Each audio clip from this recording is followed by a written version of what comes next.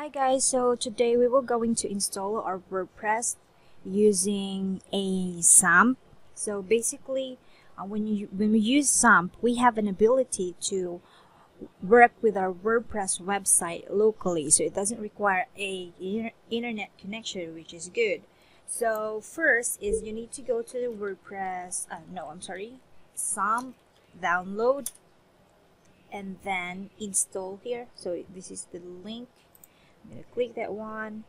And you need to choose what operating system you have. So here if you're using a Linux or Windows or iOS so um, I already have a XAMPP in my computer so I won't gonna do this. But basically you need to check um, which version you prefer. So here so 64 bit I'm running 64 bit. So once you already install the XAMPP you need to run the software. Now, I already have it as I said, so you just use uh, just search for XAMPP. So here is the XAMPP control panel. Now, um, okay, so here is the XAMPP control panel. First is you need to enable the Apache and the MySQL to to run. So this is these are the requirements for for creating a WordPress file. So you need to run that one. And then after that okay let's just stop it because we don't have a WordPress files yet. So I'm gonna create I'm gonna download the recent WordPress version. So WordPress download res no recent latest version of WordPress. You can find it to the official site wordpress.org and install it click the button here to install to download the files. If you are running a iOS then you need to use the tar so I'm gonna click that one and then um, okay let's just put it in my desktop here.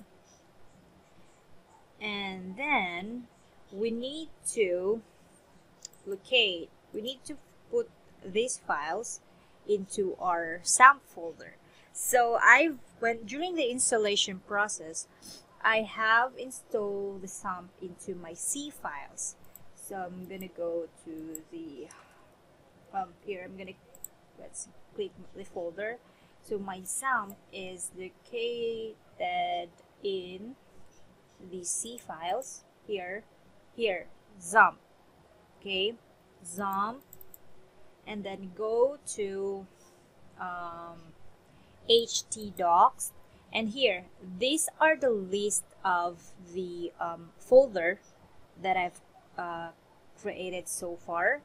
So yeah I just realized I have a zip here but let me just get the zip file that I have downloaded. So this is the files that we just downloaded. So control X and then go back to the XAMPP and I'm gonna paste that one there. And now I'm going to okay wait wait I cannot see it. Htdocs here. So I'm going to create a folder here. So to categorize the the the test file that I've created you can also unzip it to the parent of the XAMPP so when you type localhost, then um, it will basically um, load there. But I want to categorize it. So going to click the new, and then let's just go old um, WordPress WP test. Now I will extract this into my WP test folder. So extract the files. Okay, it's not. Okay, I'm just. I will just grab that one, and then Control V and extract here. Okay. Okay, I'm gonna delete the the um, files. I will get this control X and then move it to the parent of WP test and then remove the empty WordPress. Now we already we already paste the WordPress all the WordPress files to our WP test file. Now you need to run it here, the Apache and the MySQL. So run, run, and I'm gonna go to my local computer. I'm gonna type local host slash what we have created lately, WP test.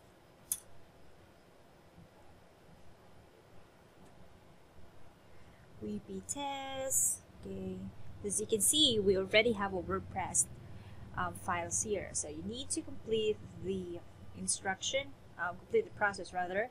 So English. So here, in order to proceed and to have a running um, site, you need to fill in the database. And we haven't created a database yet, but uh, we will do that later. So let's go here. So we need to fill in that.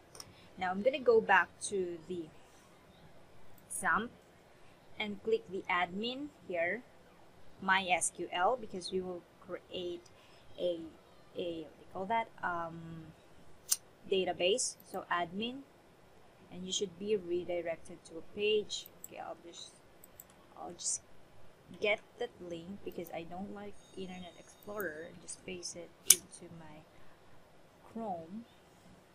And then I am going to create a database. Now click the new and then add database and it should be collation and then and then and then collation then click create. So we already have an empty database.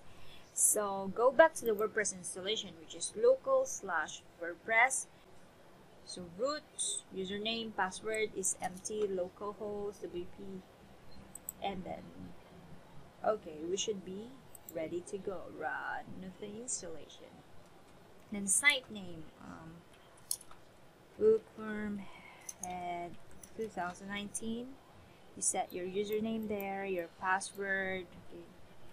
password test one two three four. Confirm it's weak but of course if it's in it's already in production you want to make sure that you are using raw uh, a strong password. Your email should be okay i'm gonna put that here. For now discourage search engine for indexing so you can change that after once you live the site because you don't want to to index your files during the development process.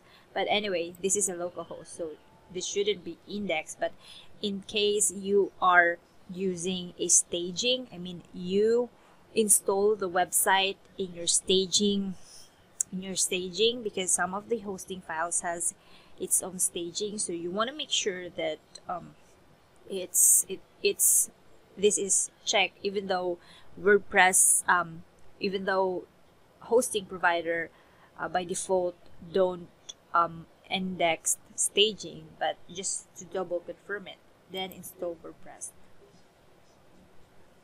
okay install WordPress. Wait a minute. So yeah, we already have a WordPress site. Congratulations for just a minute. So login and then what we have set lately one two three four test one two three four and did we already in the dashboard um, admin panel themes by default it's 2017 but if you want to add um, your preferred theme then just click the add new yeah i hope this has been helpful and if you have any questions or concern please leave a comment on my youtube channel. And yeah let me know if you want me to do some tutorials. That's it. Have a great day